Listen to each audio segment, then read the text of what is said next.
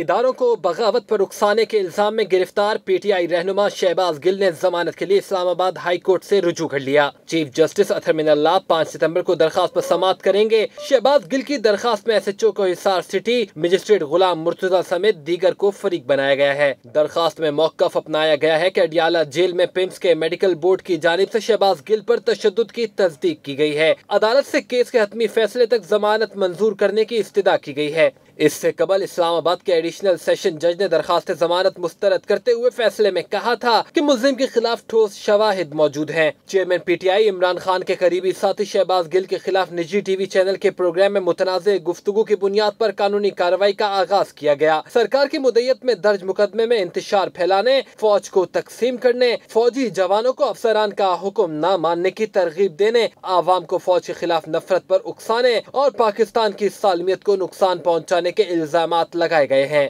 9 अगस्त 2022 को इमरान खान से मिलने के बाद घर जाते हुए शहबाज गिल को बनीगाला चौक से इस्लामाबाद पुलिस ने गिरफ्तार किया था